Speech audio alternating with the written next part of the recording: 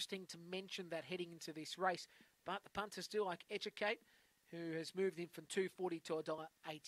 As the green light goes through, the Lures on the move. This is race two, the produce store juvenile over to 305. We are ready. Racing and Educate began beautifully from the inside. Self Fury showing toe alongside uh, Trademark Born, then punching through, fend them off, and back in the tails correlate. Well, down the side, Educate leads the way by about three to four lengths on Trademark Born. Then on the outside, Self Fury, but on the straight, it's Educate clear, and Educate wins by about four lengths on the line. Second will be Trademark Born. Now, Self Fury may have just got third here, though fend them off, punch through, may have got third from Self Fury and correlate back in the tail.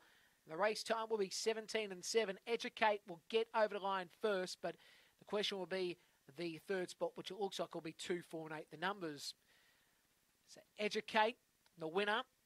Educate was too good to win the prize there.